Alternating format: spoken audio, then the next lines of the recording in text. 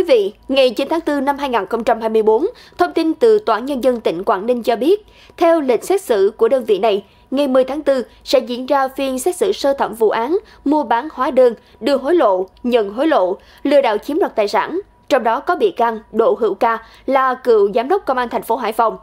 Phiên xét xử sơ thẩm diễn ra từ ngày 10 đến 12 tháng 4 tại phòng xét xử số 1 thuộc Tòa án Nhân dân tỉnh Quảng Ninh ở phường Cao Xanh, thành phố Hạ Long.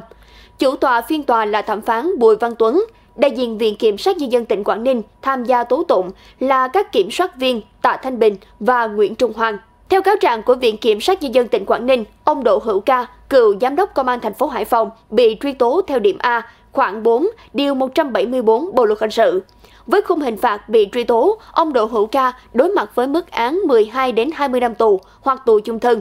Đáng chú ý, ông Đỗ Hữu Ca có tình tiết tăng nặng khi phạm tội nhiều lần do bị cáo buộc 4 lần nhận tiền chạy án cho ông trùm hóa đơn Trương Xuân Đức.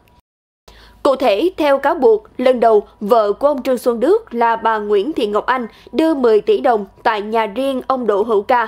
Lần thứ hai, đích thân ông Trương Xuân Đức đưa 5 tỷ đồng vào phòng ngủ tầng 1 nhà ông Đỗ Hữu Ca. Lần thứ ba, vợ chồng ông Đức mang hai bao tiền chứa tổng cộng 15 tỷ đồng đặt vào phòng khách nhà ông Đỗ Hữu Ca. Lần cuối cùng, bà Nguyễn Thị Ngọc Anh mang thêm 5 tỷ đồng đến gặp ông Ca. Sau 4 lần đưa tiền chạy tội nhưng vẫn không có kết quả phản hồi, gần trước Tết Nguyên đán Quý Mão 2023, ông Trương Xuân Đức lại cùng vợ đến nhà ông Đỗ Hữu Ca tại Kênh Giang, huyện Thủy Nguyên, thành phố Hải Phòng để hỏi kết quả chạy án. Tin tưởng ông Đỗ Hữu Ca đã lo chạy án xong, ông Trương Xuân Đức không bỏ trốn nữa, mà quay về Hải Phòng ăn Tết, sinh hoạt bình thường cùng gia đình.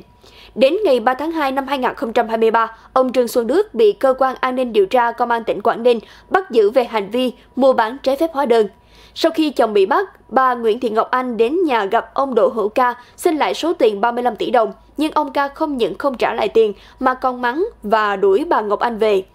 Ngày 7 tháng 2 năm 2023, bà Ngọc Anh bị cơ quan điều tra bắt giữ về hành vi mua bán trái phép hóa đơn, chứng từ thu nộp ngân sách nhà nước. Cũng theo cáo trạng của Viện Kiểm sát Nhân dân tỉnh Quảng Ninh, ông Đỗ Hữu Ca có tình tiết giảm nhẹ khi có nhiều bằng khen, thành tích trong quá trình công tác, đặc biệt là đã tự nguyện nộp lại 35 tỷ đồng đã nhận từ vợ chồng ông Trương Xuân Đức. Ngoài ông Đỗ Hữu Ca, còn có 12 bị cáo khác bị đưa ra xét xử liên quan đến vụ án mua bán trái phép hóa đơn xảy ra tại thành phố Hải Phòng và tỉnh Quảng Ninh. Báo Thanh niên sẽ liên tục cập nhật những thông tin tại phiên tòa này tại địa chỉ thanh niên.vn và trên kênh youtube Báo Thanh niên. Kính mời quý vị bật nút chuông và đón theo dõi.